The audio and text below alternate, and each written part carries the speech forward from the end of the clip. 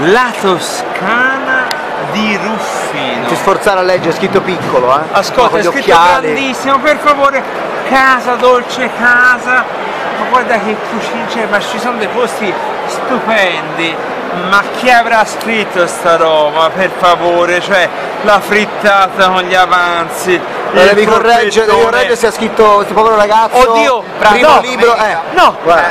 oddio, Francesco Sorelli è lui? La mente, ma non si solo. parla di questo? Moi. No, Francesco raccontaci, no, perché io non voglio ovviamente offendere tutto il resto, ma però è un libro bellissimo e i testi sono di eh, Francesco. Racconta, racconta, racconta. prendo come, come È una recensione al volo. Guarda, guarda, guarda, guarda, guarda. Vai, racconta. Il libro non è di Francesco Sorelli, ma è il libro di Ruffino, che racconta la Toscana di Ruffino.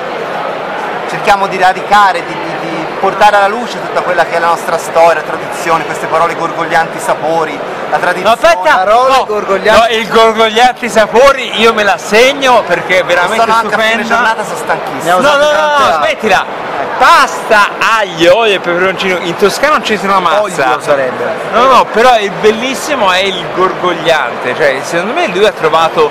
No, il, dopo il petaloso, noi lo sappiamo, siamo, Siamo alla ricerca di nuovi nomi. A gorgogliante Perfetto. esiste. Vai, anche in perfetto. Allora, cosa Allora. hai fatto? Racconta il libro.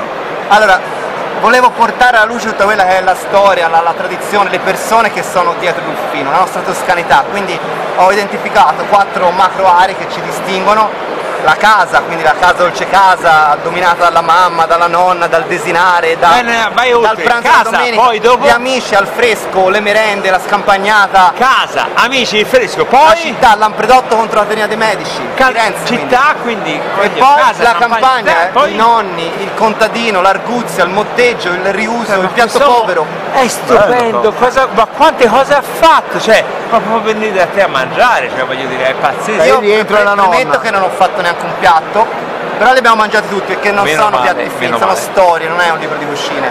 O perlomeno si può anche fruire a questo tipo di livello, no? Però non è un libro di cucina. Allora, raccontiamo benissimo. La Toscana di Ruffino è un bellissimo libro nel quale Francesco ha scritto un sacco di cose riguardanti che cosa?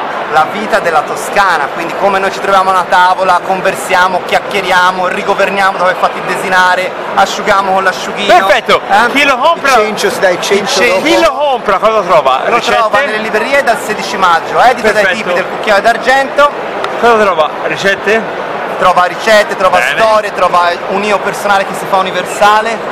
È stupendo. Allora noi abbiamo la possibilità di imparare ricette tradizionali secondo uno schema legato a quella che è la tradizione della Val di Sieve. Mi raccomando e soprattutto un sacco di abbinamenti cibo vino. C'è anche il bardiccio, ci farebbe anche Oddio, mi raccomando, quindi Almeno, ah, eh. va comprato, non c'è bisogno, va comprato.